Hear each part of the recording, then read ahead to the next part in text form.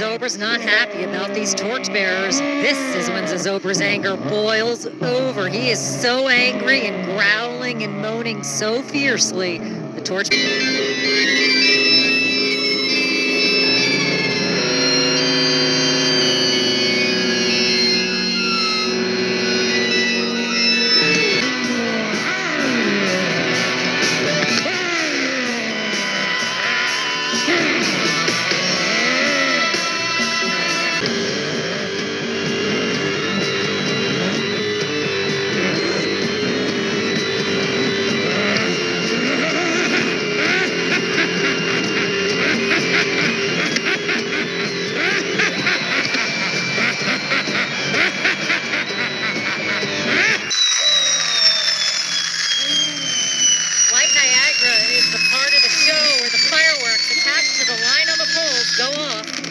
Light streams come down.